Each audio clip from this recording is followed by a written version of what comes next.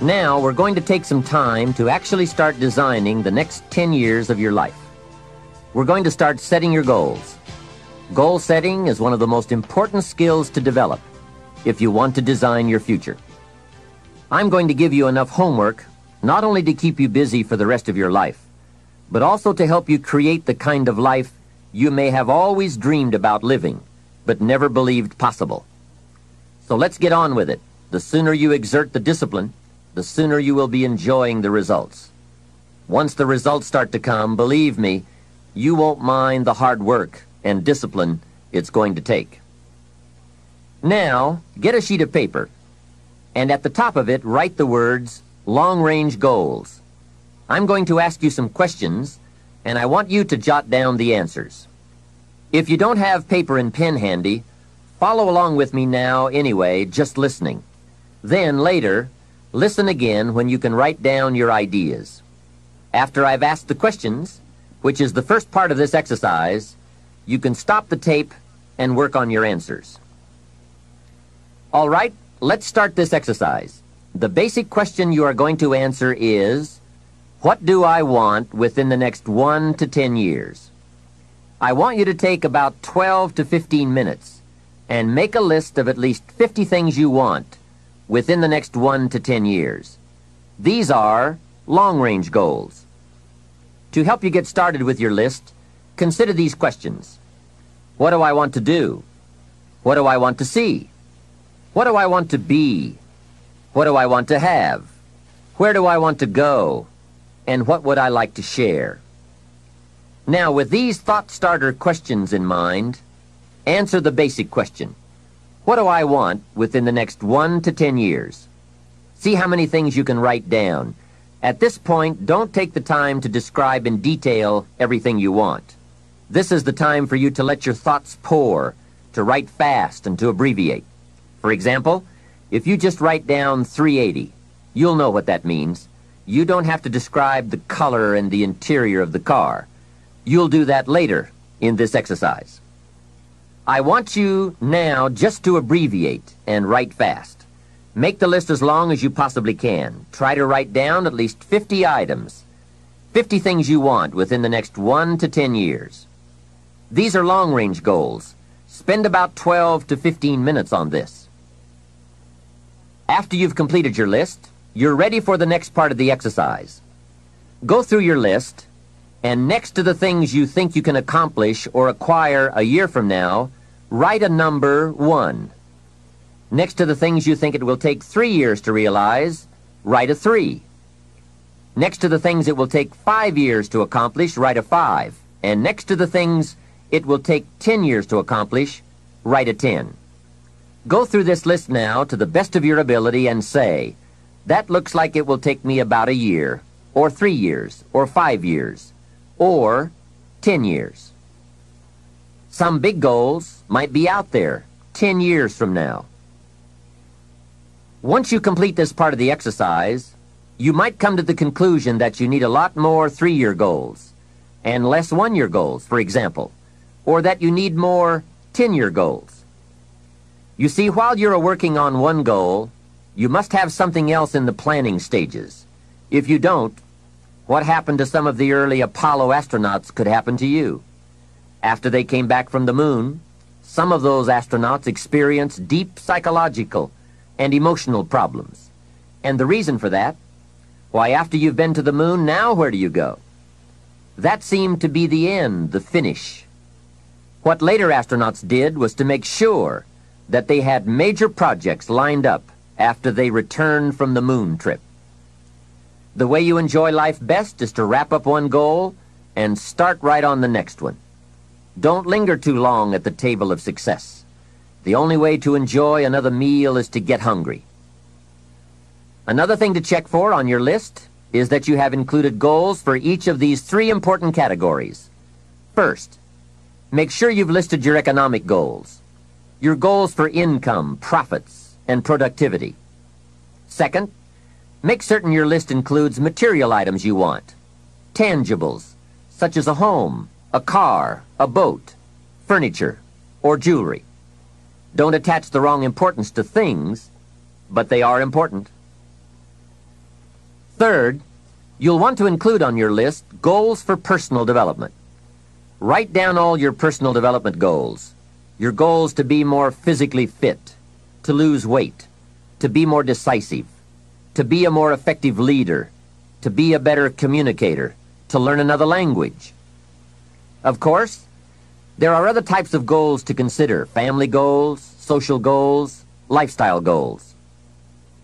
This is pretty heavy homework, but remember, whether or not you do your homework shows up in the marketplace as well as in the classroom. After you have determined which of your goals are one year, three year, five year, and ten year, and after you've made certain your list includes economic goals, things, and personal development goals, I want you to go back to this list again. Now pick out the four most important one-year goals, the four most important three-year goals, the four most important five-year goals, and the four most important 10-year goals. Those 16 goals will give you plenty of work for now. Get out some more paper, and in a brief paragraph, describe each goal.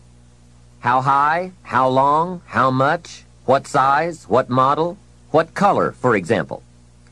Also describe why it is important to you. This is a process where you either talk yourself into it or talk yourself out of it, which is good. When you're unclear as to why something is important, usually you put only half-hearted effort into it. What you want is a powerful motivator, but the reason why you want it is an even more powerful motivator. It has greater pull. You may find that some of your goals you thought at first glance were important are not important after all. Do some reflecting, refining, and revising. The point is, right now, try to have approximately four one-year, three-year, five-year, and ten-year goals that you truly believe in, that inspire you, that you've sold yourself on. When these goals, and the reasons you want to obtain them are each clearly described in a brief paragraph, transfer this information to a journal or some type of notebook that you can carry with you easily and refer to often. It's essential to set aside some time every week to review all of your goals, to rearrange them, redo them, restructure them, to add goals, or to tear up the whole list and start over. Goal setting is not something you do just once. It's a continual process. Also, you must constantly check your progress toward your goals. You don't want to fall too far behind on, or worse, lose sight of, your important goals. Now, just as important as your long-range goals are your short-range goals. Your goals for tomorrow, next week, next month, six months from now. These are goals you can accomplish within the next year, the immediate future. We call these goals confidence builders. When you work hard, burn the midnight oil, and accomplish these little things, it builds your confidence to go for your long-range goals. Write down in your notebook or journal all the little things you would like to have or accomplish in the next year. How you set up this list is up to you. You might want to break it down by week or by month. Set it up in whatever way works well for you. Part of the fun of having a list is being able to check off something as obtained or completed. Every week, try to check off at least one thing on your list of short-term goals. And when you are able to check off something major, something on your list of long-range goals, celebrate. Make winning joyful. Congratulate yourself. It is very important to celebrate progress. We grow from two experiences. One is the joy of winning, and the other is the pain of losing. Here's what that also means. Make losing painful. Put it on yourself. If you set something up, fooled around, didn't pull it off, put it on yourself. And get around people who will help in this area. Hey, don't join an easy crowd. Go where the expectations are high, where the pressure to perform is high. It's how we grow. I'm certain that part of the reason why people let goal setting slide is because it is a lot of work. As I said, you'll be constantly revising your lists of short-range and long-range goals, rearranging them, refining them, redesigning them, establishing different priorities, adding new goals, perhaps deleting others. It's interesting that so many people work hard on their jobs, but they don't work hard on their futures. They let that slide. Some people live such mediocre lives that at the end of the day, they don't know whether they're winning or losing. They just go through life with their fingers crossed. I know most people don't make definite plans, but don't let that be you. The guy says, well, you work where I work, but the time you get home, it's late. You've got to have a bite to eat, watch a little TV, and get to bed. You can't sit up half of the night and plan, plan, plan. And this is the guy who's behind on his car note. He's a good worker, hard worker, sincere. But I've discovered that you can be sincere and work hard all your life and wind up broke and embarrassed. You've got to be better than a good worker. You've got to be a good planner, a good goal setter. You've heard the old saying, the people who fail to plan are planning to fail. It's true. So work on your plans. Put yourself in the top few percent who put this power to work for themselves. Writing your goals down also shows you are serious. And to do better, you must get serious. You don't have to be grim, but you do have to be serious. Hey, everybody hopes things will get better, but remember, the future does not get better by hope.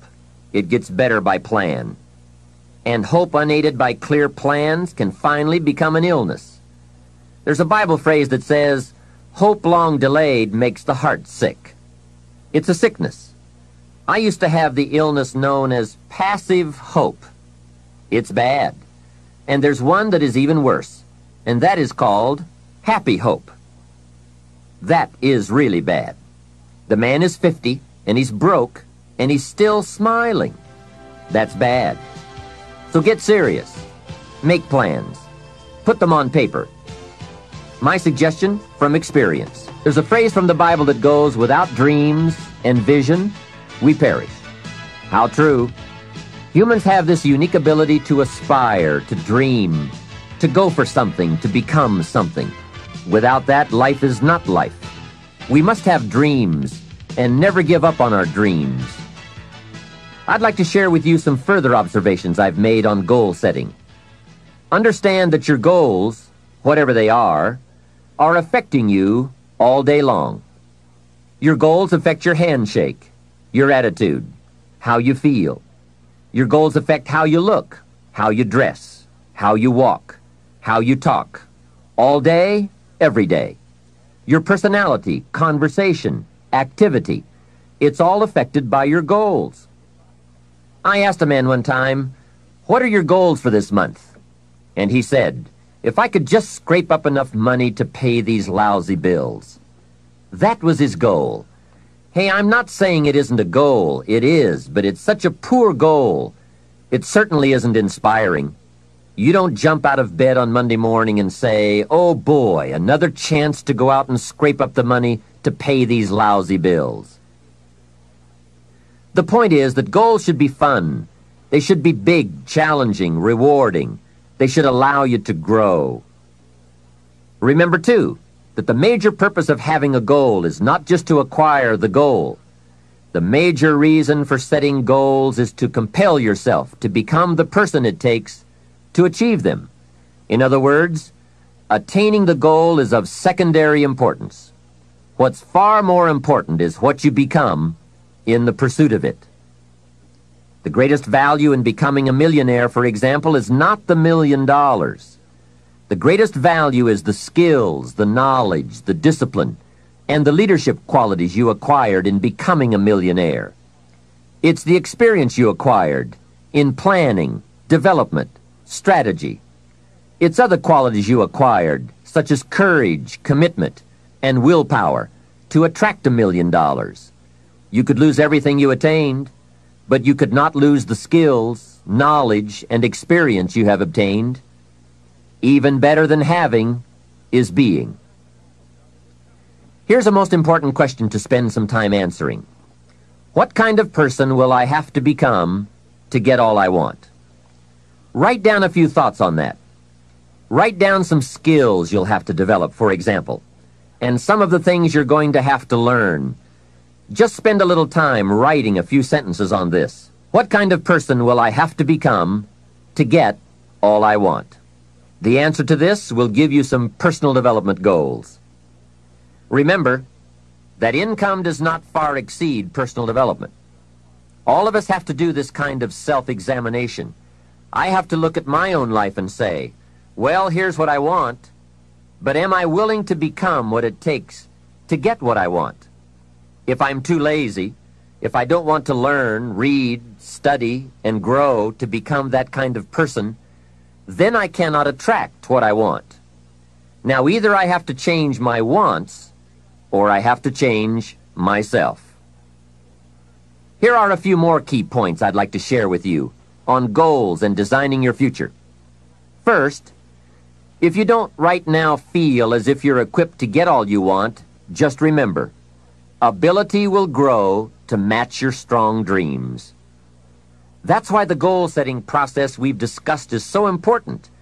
The more you work on this, the more ideas you will get on how you can change, how you can grow. I am nowhere near the person I was when I met Mr. Shoaff 25 years ago. I'm not that person anymore. I've changed. There's nothing you can do about the past, but you can do a great deal about your future. You don't have to be the same person you were yesterday. You can make changes in your life absolutely startling changes in a fairly short period of time. You can make changes you can't even conceive of now if you give yourself a chance. Your abilities will grow. You have untapped talents and potential that you haven't even reached for yet. And as time goes on, you'll be able to reach deeper and deeper. The first thing you'll know, you'll be able to do things you never thought you could do. You'll be able to handle things you never thought you could handle. You'll have ideas that you've never had before. All of this is sparked by the goal-setting process. When you know what you want, and you want it badly enough, the answers will come to you. I can't tell you why it works. All I know is, it works. Give yourself a chance to become all you can become and to accomplish all you can accomplish. Let me give you a Bible philosophy that teaches how to get whatever you want. Here's what it says. Ask. That's it. Ask. Of all the important skills to learn in life, be sure to include the skill of asking. What does ask mean? Ask means, what do you want? And the complete formula is staggering. It says ask, and you will receive. Hey, we ought to look into that. The man says, yes, but you work where I work. By the time you struggle home, it's late. You've got to get a bite to eat, watch a little TV, and get to bed. You can't sit up half the night and ask, ask, ask. And this guy is behind on his bills. He's a good worker, hard worker, sincere, but you've got to do better than work hard and be sincere all of your life. You'll wind up broke and embarrassed. You've got to be better than a good worker. You've got to be a good asker. Let me give you some key points on this asking and receiving, setting goals, asking of life. Here's part of the philosophy that helped me to change. First, asking starts the receiving process. Asking is like pushing a button, and all this machinery starts working, mental and emotional machinery. I don't even know how it works, but I do know it works. There are a lot of things you don't need to know how they work. Just work them. Some people are always studying the roots. Others are picking the fruit. It all depends on what end of it you want in on. So asking is the beginning of receiving. Second, receiving is not the problem. You don't have to work on receiving. It's automatic. So if receiving is not the problem, what is the problem? It's failing to ask. The man says, I see it now. I got up every day this year and hit it hard, but nowhere in my house is there a list of what I want from my life. Can you see? Good worker, poor asker. Third, receiving is like the ocean. There's plenty, especially in this country. It's like an ocean here Here, success is not in short supply. It isn't rationed so that when you step up to the window it's all gone. No, no. Well, if that's true, what is the problem? Well, the problem is some people go to the ocean with a teaspoon. Have you got the picture? A teaspoon. What I suggest you do in view of the size of the ocean is trade your teaspoon for at least a bucket. And you will look better at the ocean with a bucket. Kids won't make fun of you. Now here's something else to remember about asking. There are two ways to ask. One is ask with intelligence. It didn't say ask intelligently, but I'm sure it meant that. Don't mumble. You won't get anything by mumbling. Be clear, be specific. Intelligent asking means how high, how long, how much, when, what size, what model, what color. Describe what you want. Define it. Remember, well-defined goals are like magnets. The better you define them, the stronger they pull. And give your goals purpose. Answer both questions. What do I want? That's the object. And the second question, what for? That's purpose. Purpose is stronger than object. What you want is powerful and it will pull, but what you want it for is more powerful. Here's the second way to ask. Ask with faith. Faith is the childish part. It means believe you can get what you want like a child, not an adult. Many adults are too skeptical. They've lost that wonderful childlike faith and trust. Don't let that happen to you. Believe in, have faith in yourself and your goals. And get excited like a child. Childlike enthusiasm. Nothing can beat it. Kids think they can do anything. How exciting. They hate to go to bed at night and can't wait to get up in the morning. Develop that kind of enthusiasm toward your life and your goals. And be curious like a child. Kids can ask a thousand questions. Just when you think they're finished, they come up with a thousand more. They'll drive you to the brink. But it's really a virtue. Have plenty of curiosity. Ask questions. That's how you learn. Another fringe benefit of setting goals is what it does for your ability to manage your time effectively. This is no small thing. We'll look at time management in detail in a later session, but now, while we're talking about goals, I'd like to share a few ways your use of time are affected by or influence the achievement of your goals. Have you ever thought that without some very clear written goals, you never even need to consider managing your time? Time essentials come from objectives well defined. Time can't be critical if objectives aren't defined. Now you might be one of those uniquely fortunate individuals who can keep all their objectives and purposes clearly defined in their minds and operate from that. But I wouldn't take the chance. Write your goals down and set careful priorities. Sometimes priorities are determined by the season. For a farmer in springtime, the season dictates his most important activities. During the spring, a farmer must work around the clock, burn the midnight oil, and keep the equipment running because he has only this small window of time for the planting of his crops. One of the difficulties of living in an industrialized society is the losing of the sense of seasons, when to pour it on, when to ease back, when to take advantage. It's easy to keep going from 9 to 5, year in and year out, and lose a natural sense of priorities and appropriate time. Don't let one year just blend into the next. Keep an eye on your own seasons, lest you lose track of values and substance. Part of setting priorities is learning to separate major activities from minor activities. This is a whole skill in itself, but once you have learned it, it will pay dividends you won't believe. So learn to put everything on your mental scales to be carefully weighed before you spend time or money. And here's a good question to constantly ask. Is this a major or a minor? By asking that question, you will reduce the amazingly natural tendency to spend major time on minor things. In sales training, we are taught that major time is the time spent in the presence of the prospect, while minor time is the time spent on the way to the prospect. If you're not careful, you will spend more time on the way to than in the presence of.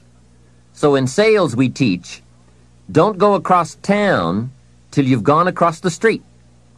Wouldn't it be wise to make an evaluation if you're in sales and ask, how much time am I spending in the presence of and how much time on the way to? Majors and minors. What a great discipline to exercise. It also reads, don't spend minor time on major things. It's easy to get values mixed up. The man spends three hours watching television and only 30 minutes playing with his kids. Something is probably out of line there, right? It also reads, don't spend major money on minor things. If you spend more on candy than on audio cassettes like this, or books, that would be foolish, right? Here is a great goal-achieving tip. Don't mistake movement for achievement. It's possible to be busy all day, come home exhausted, and only then realize that very little of your day consisted of productive activities in the pursuit of your goals. Don't get faked out by being busy. The man says, I've been going, going hard all day. I've really put in the hours and the effort. But here's the major question. Doing what? It isn't going, going hard all day that counts. It's the doing what, the value that counts. Another essential is concentration. This is one of those difficult things, especially in a society where there are so many voices asking for our attention. The television voices, the radio voices, your family voices, the friends' voices, social voices, business voices, advertising, commercials. Isn't it amazing? You can turn off the television and the commercials keep running. How do you turn them off in your mind? That is the challenge to be mastered. The best use of time comes from putting plenty of value in it, and concentration means you take that challenge seriously. It's called careful investment for maximum results. Concentration. The big sports stars will tell you the cost of not concentrating. Just a little slip of concentration, and they put one by your feet. And there goes first place, and maybe the big money. So writing a letter, concentrate. Making a call, having a conversation. Trying to solve a problem, concentrate. You won't believe the effect this will have on your life. Now, there is a time to let your mind wander, but it's a time you designate specifically for that purpose.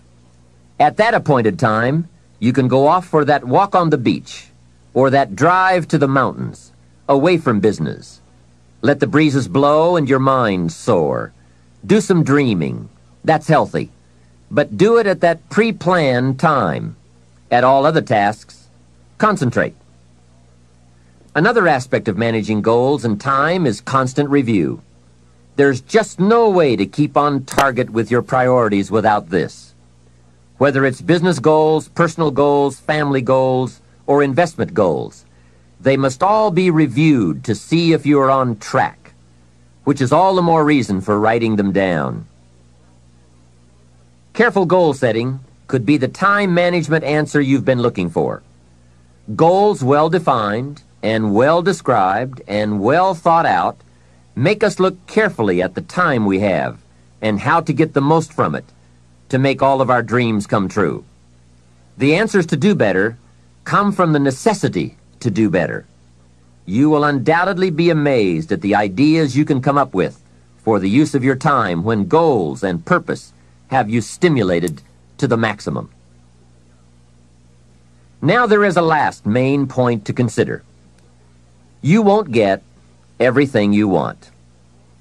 What a statement to make after studying how to get whatever you want. But you won't get everything you want, and the reason is it's not that kind of planet. Sometimes it's going to hail on your crop and rain on your parade. I'm sure you are very well aware of this. But in my opinion, if you work the system I've just shared with you, you will get more than plenty. More often than not, You will get what you want. Those are good odds. There's no telling what you can do when you get inspired by results in advance. There's no telling what you can accomplish when you have goals and you believe in them. Just try this system for 90 days.